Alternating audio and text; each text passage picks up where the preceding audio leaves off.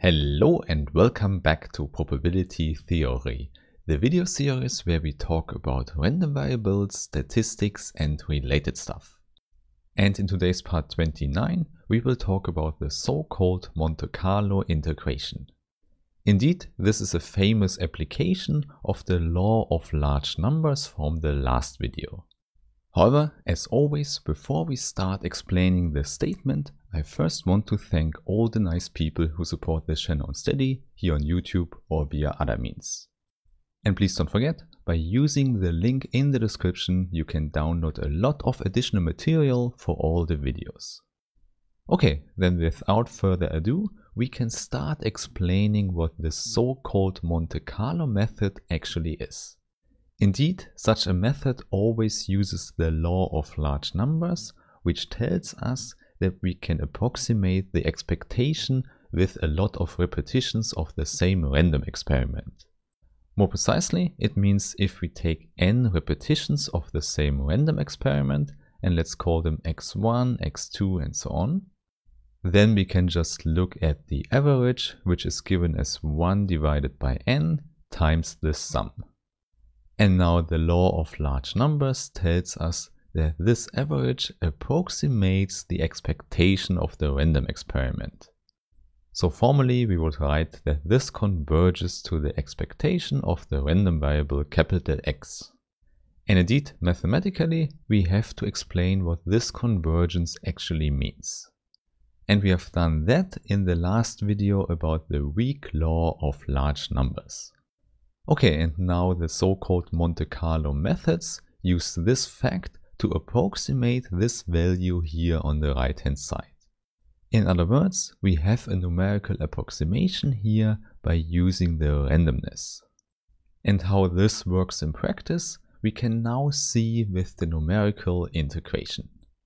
In particular, this one is used in higher dimensions, but I will explain it here in the one-dimensional case. This means we have the graph of a function and we want to calculate the area between the graph and the x-axis. And in order to keep it simple, let's say that we have the function defined on the unit interval. Hence, we will just integrate from 0 to 1. And you know, this integral is just represented by the area here. Hence, one possibility to calculate that with our random methods would be to throw points randomly into this picture. And then by counting the numbers of points that lie inside the area gives us the ratio of this area to the total area. So this is definitely a valid approach, but it turns out that for the area given by a graph of a function, we have a much simpler method as well. And in the end, you will see that we just have to throw points into the unit interval on the x-axis. And these points can be simply modeled by random variables x1, x2 and so on. However, obviously, they still don't get us the integral we want. But before we discuss how to get that, I first want to explain again the concrete statement of the weak law of large numbers. In fact, this is exactly what we will need for this video here. And maybe to avoid confusion, let's call the random variables here yk. And you know the assumption we need is that all these infinitely many random variables are IID. This simply means that the family of the random variables is independent and they are all identically distributed. And moreover, in addition, the expectation has to exist for all of them as well. However, since they have the same distribution, they definitely also have the same expectation. Okay, so these are the assumptions and now let's use mu to denote the expectation. And now what we get is that the averages we have converge in probability to mu. This means no matter which epsilon we choose here, this probability here goes to zero if n tends to infinity. Okay, so this is the general formulation of the weak law of large numbers and now we see we can use it for calculating an integral if we choose correctly the random variables yk such that this mu here is given by the area. Therefore, the general question is now, what is a good choice for the random variables yk? Indeed, the only thing we have here is an integrable function we can call g. So we have a function g that is defined on the unit interval 0 to 1. And maybe we can also assume it's a bounded function where the bound is given by a number c. Hence we can say it definitely maps into an interval minus c to c. And now what we want to have is the real number given by the definite integral of g over the interval 0 to 1. And indeed, we can estimate this integral by picking a random point in the unit interval. Hence, we can just say we have the random variable capital X1 which randomly picks a point from the unit interval. And of course, if we say randomly here, we mean that we have the uniform distribution of the unit interval. Therefore, what we get here is a real number we can call lowercase x1. And now we know it lies somewhere here on the x-axis. Hence, we also get a corresponding value on the graph of the function.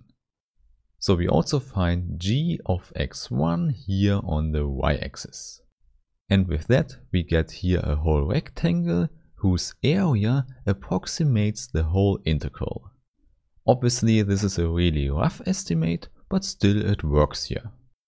In other words, the random variable g of x1 is what we actually need for the integral calculation here.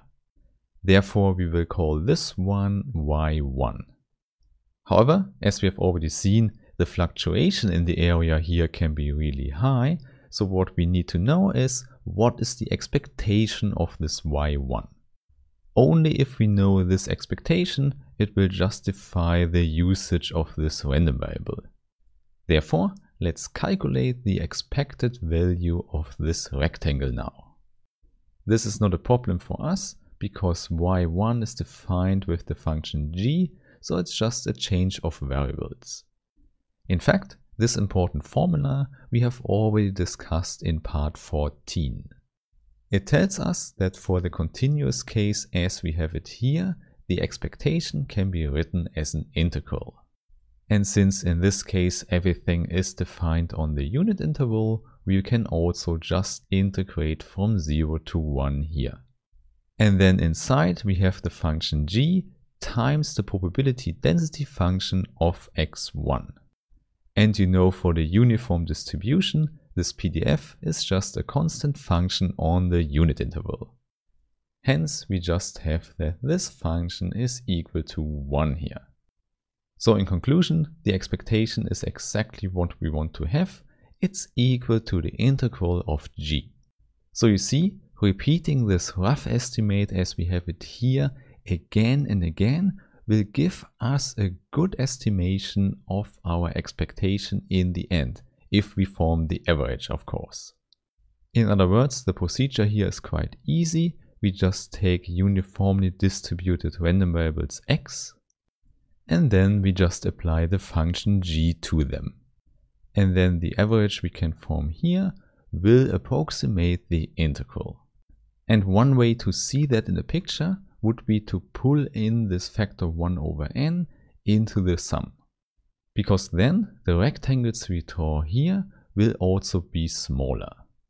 So for example, if we consider three random points here, here and there, then we are only interested in the corresponding values of the function. And with respect to these values, we would take three rectangles where each one has a width of one third. Hence, we just have to stretch them into the y direction such that they fit to the corresponding values here.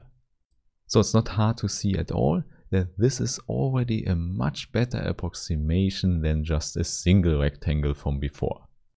However, please note that in this picture it can definitely happen that the point we considered lies outside of the corresponding rectangle. Okay, now in order to finish this video, I would say we can also look at a quick example. And there I want to integrate the function given as 4 divided by 1 plus x squared. and we want to have it from 0 to 1 as always and you see this is definitely an integral you can solve by hand.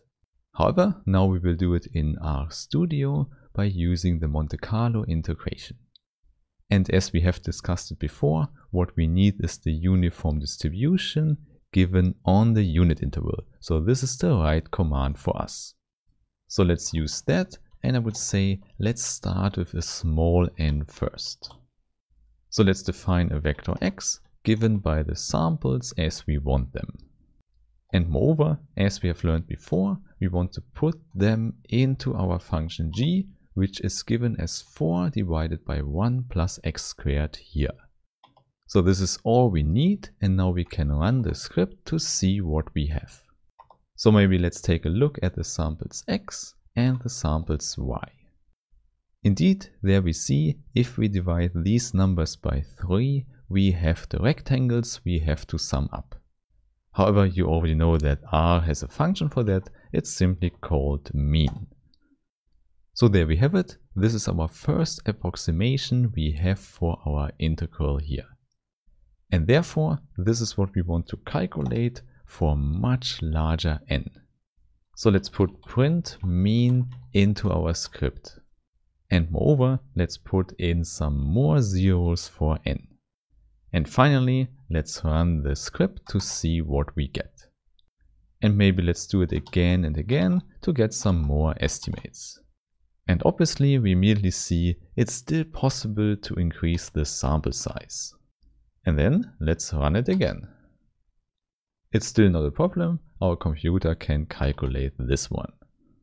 And indeed, the result again shows that the first three digits we have here are really safe. In fact, I can tell you what we do here is to approximate the value pi. In other words, here with this short script, we have a Monte Carlo simulation of pi. And with that I would say now you know what the Monte Carlo integration actually is. It's really useful in higher dimensions where integrals are not so easy to calculate. So thanks for listening and I really hope we meet in the next video again. Have a nice day and bye bye.